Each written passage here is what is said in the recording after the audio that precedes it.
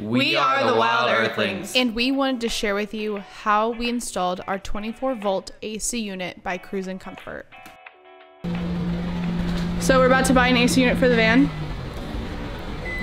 Could be our worst purchase ever. Only time will tell, really. So, are we making a mistake? You would say you're definitely not making a mistake here. Say what? Whoa, whoa, whoa. Look at that. That's a 100% leak. Whoa, whoa, whoa, whoa, whoa, whoa, hold on. Oh, it worked. Yeah. I guess we'll see you when it shows up. I could feel the money like leaving my wallet. You're so cute.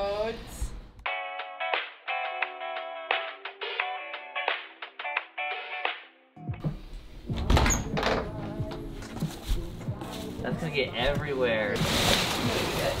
Why is it so much heavier in this box than it is in the big box?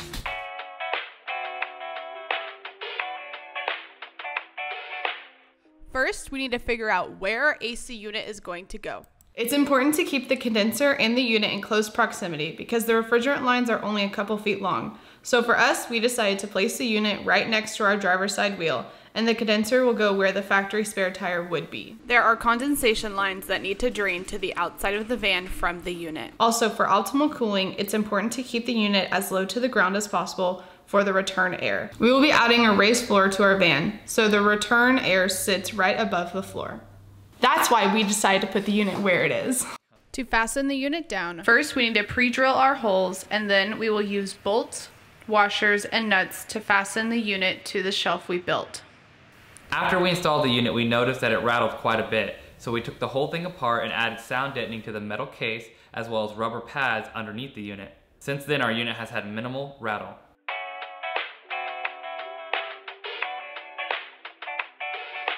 Now we need to mount the condenser underneath the van.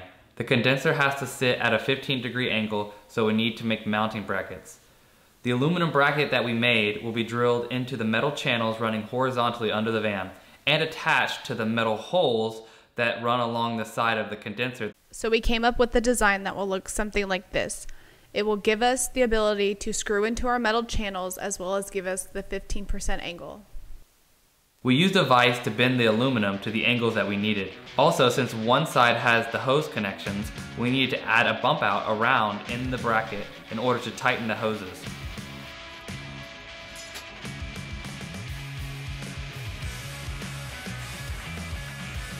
This was the bracket design we came up with, and after our 27 test fits, it was time to mount the bracket to the condenser.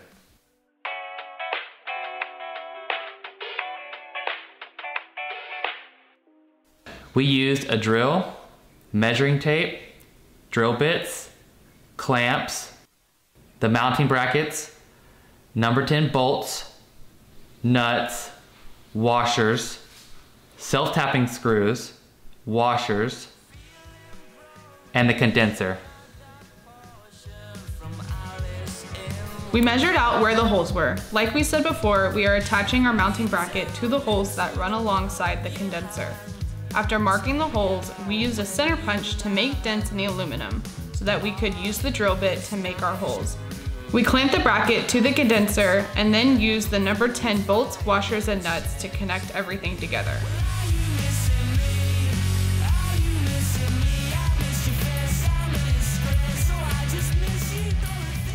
Okay, now we got it all together. We're gonna go up in there and test fit this and make sure it's good. And then we'll mark our holes and drill it in and put it up.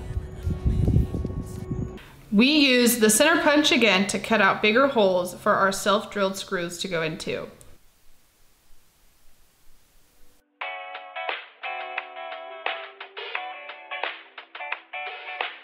And now it's time to mount this thing.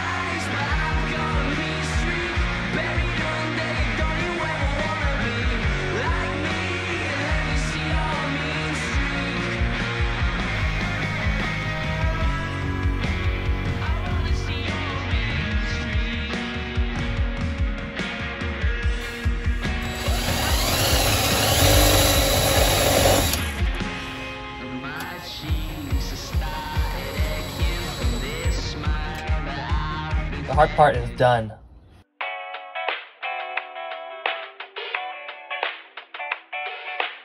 Now it's time to attach all our hoses. With a lot of planning and measuring, we decided to drill the holes for the hoses where the rear axle is on the driver's side. This was very dependent on where we mounted everything inside the van. The hoses given were the perfect length to reach the condenser from the unit. We used conduit to protect the hose from the metal of the van, and we used glue and silicone to keep it in place as well as keep the outside elements out. We tied and used mounting clips to keep the hoses in place and use a wrench to tighten all the connections. Also, there are two condensation drain lines on the unit, one on the front and one on the back. We ran the hoses together to meet at a T, and then from there ran out the bottom of the van to drain properly.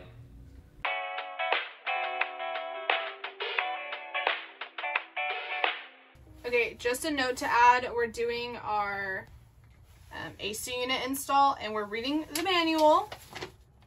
Um, but to ease the confusion, the fans we have, as of right now, as of 2021, we have to follow the 48 volt fan conversion. So we have two 12 volt fans. And you have to wire these fans in series. No other choice. And now we need to set up all the electrical components. The instructions made this super easy to follow except for the minor confusion we had before. Once you have the condenser fan wired in series, you will then need to connect the controller cable, which is the white supplied wire. Then you will need to run a positive and negative wire to your power source.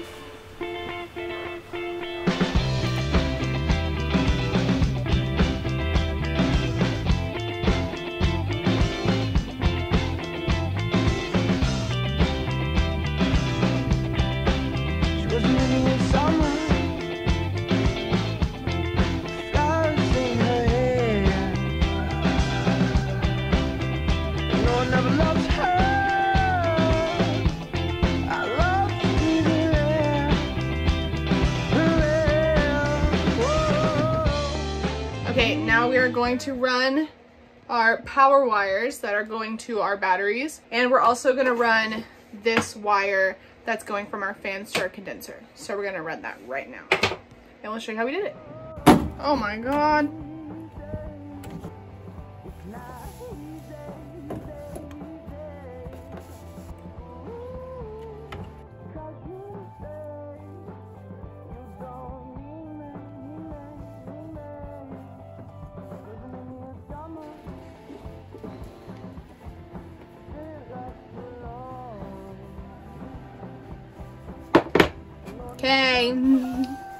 Since we run a 24 volt system, we can connect the wire straight to our bus bar to our 24 volt batteries. We added a 70 amp breaker for extra protection. The instructions didn't include what size breaker to add for the 24 volt system, so we just matched the 12 volt system.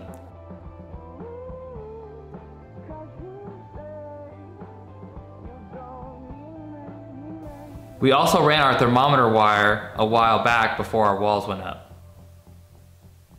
However, I guess what we would change is we wouldn't put it on the wall. We'd put it somewhere else. Where would we put it? The cabinet or something? I think it's fine.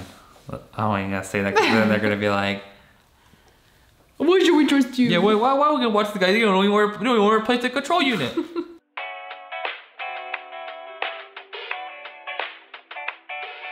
With a working unit, it's time to charge the system. Disclaimer. Can we put a disclaimer here? Yeah. Uh, I am. Disclaimer. Where, where, where, where? Disclaimer. We're not telling you to go and try to charge your system on your own. If you don't have the confidence or the tools or the know-how, just go to someone, find someone in your local area. We couldn't find anyone. in we our could local not area. find anyone in our local area. We actually originally I uh, we called and I had somebody come out and take a Mm-hmm. look and I basically told them it's a it's an off-grid DC mini split system. And they said okay. And they came out and took a look and they were like oh this is not a mini split and I was like yeah it is a mini split the condensers split from the the con- uh, compressor unit. Uh, you probably will run into the same problem if you don't have if you don't live in a major city and have a bunch of air conditioning companies to choose from So this may be an option that you decide to take, but just for informational purposes. Yeah. Anything that we say in this video, we're not telling you to do to go out and try yourself. It's more just how we did it Yeah. and um, and our experience. We followed Chris Vick's video and he did an amazing job. Super informative and better than what we could describe right now. The tutorial video that he has is also mainly for air conditioning uh, units in cars, which work very similarly to the unit that you know Cruise N Comfort puts out. You just have to take a few precautions, but overall the video itself for how to charge the system is straightforward. Yeah. What it do? It's freezing and we got AC. Can they feel? Can you feel the hair? Can you feel it? Can you feel it now, Mr. Krabs? Can you feel it now, Mr. Krabs? A few months went by and we noticed our unit wasn't blowing as cold as we first charged it. We suspected there was a leak, so we tightened our hose connections until they simply would not budge anymore. We recharged our system, and a few months later, we had the same problem.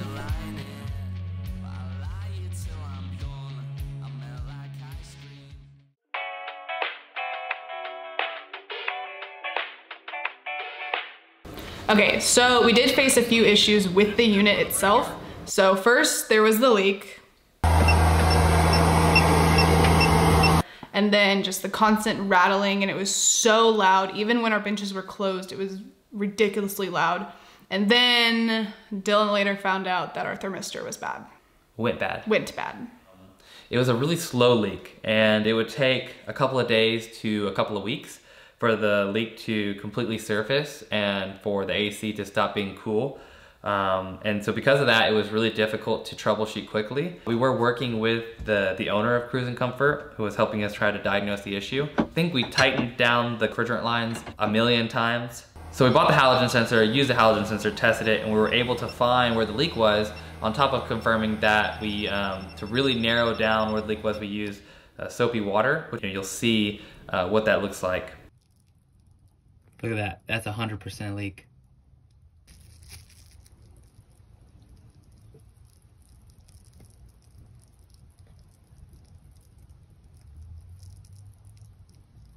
Then the other problem we had was the constant rattling. So a lot of that was just because the unit mounted to some wood, which was directly mounted to the van uh, and the rest of the, the bench and everything that we have. I just think that most of the noise and rattling was obviously due to vibration and the rubber pads did a really good job at um, sort of deadening that, that vibration. So a couple of months, uh, or maybe even weeks after we finally got all of the issues resolved uh, for the unit, we actually ended up having another issue, which was the thermistor. So um, it's this little guy here. It's kind of blurry, but uh, it's just a, a small circuit board uh, that is essentially a glorified temperature sensor. It lets the compressor know that it can slow down or speed up based on the temperature of the coils. This actually broke. It took us a while to diagnose that and then once we fixed it, uh, the issue that we had with the thermistor went away. And that, you know, that issue was kind of severe because it led to the hermetic compressor locking itself up uh, to protect itself from damage. And, uh, you know, obviously the, the compressor would just run, run, run, run, run at max because the thermistor wasn't there. Um, there's some other cool little uh, workarounds you can do uh, for the thermistor braking and stuff like that. Maybe we'll make some other video on that and that could be pretty cool. But I think that most people are not gonna have this problem. It's a very small subset of people that probably have this uh, AC unit and even a smaller subset of people who have this problem. And you, where did you get this from? This piece, Yeah. This piece I got straight from the owner of Cruise N Comfort. Uh, he's was really helpful, um, helped us solve all the problems that we had with the unit. Um, and there were multiple. There's multiple. Yeah. When we did have any issues with our unit or we had any questions about our unit, any concerns, um, our customer service that we got was phenomenal. Um, we ended up fixing all of our issues. We didn't have to take it to Cruise N Comfort to have them fix it. Um, that also might be on us for being handy. Um, but the issues all were minimal, and with their help, we were in, we were able to fix it.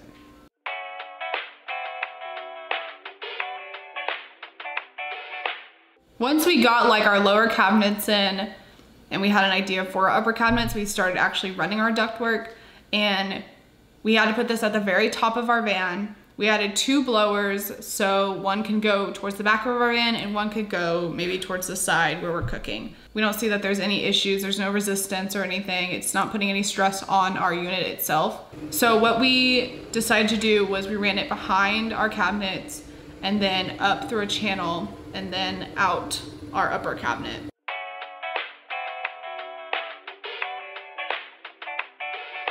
So on a hot day where it's around 90 plus degrees, our van is essentially blowing hot air with the fans that we have. To fix this issue, we bought the AC unit. Well then, I guess I'll go ahead and turn this fancy dancy AC unit on. And we can comfortably be in the back of the van at a cool 75 to 78 degrees. Feels really cool back here. I can maybe take a nap. One weekend we decided to head to the coast, and these are videos from the morning of. But later in the day, when it got above 90 degrees, we had the AC running for about six hours and it only drained our battery about 40%. We do have a pretty big battery bank, but this is nothing compared to a 120 volt AC unit. Right? Yeah, you can't really run that very long. No. Um, even even on even on our size batteries, we have a 400 amp hour, 24 volt battery pack. So the 400 amp hours, I think on I think on max the AC unit draws like maybe 38 amps so, I mean, you could do the math there. Half of our battery could be drained in six hours if we're running it on, you know, max. Okay, so this is what the AC unit sounds like when it's on, with the blower on high and then the unit itself on loud. And our benches are closed. We don't have a door on this cabinet, but it's not that bad. With all of our issues, with how much it is, would we recommend this? Yeah, I mean, there's not really many alternatives out there. Uh, mm-hmm. And so if you're the type of person that is planning on, you know, going anywhere, anytime, um, especially if you're gonna be in like, you know, temperatures can easily get into the hundreds. Um, you know, in, in other places south of this, they're they stay in the hundreds. So unless you have a plan for how to deal with that, this is probably a really good option for people. Um, I think that you know the AC rooftop mounts, uh, rooftop mount AC units are great. Um, they're just not really viable for a lot of people because you can't run them unless you're plugged in. Um, which again, if you're not boondocking most of the time and you're at campsites and stuff like that, it's not a problem. Yeah, and especially if you have dogs or any other animal, um, we oh, mostly oh, yeah. bought this for them. Yeah. Because we wanted to be able to go for a hike and have the dogs be comfortable in the van and not have heat stroke. Yeah, a pretty good point because I think one of the next things we might do is add a temperature sensor to our Cerbo and then have mm -hmm. that uh, be able to like alert us if the heat in the van is too high. And we definitely like, not to like brag about like how much money we have, like we definitely saved up. Oh yeah. For this unit. We, oh yeah. We knew that this was an important part for our build, so we put aside money and it yeah. took us multiple years, months yeah. to buy this unit. It was more, we definitely planned and said, hey, we need to set aside money to pay for this. Mm -hmm. And we did. Well, stick around for the rest of uh, the chaos. Yeah. That's what you want to call it. we hope you enjoyed this video. Leave us a comment and consider subscribing. We'll see you next time. These long thoughts come easily, stretching my field of view. What's hard is when they mean nothing or something I already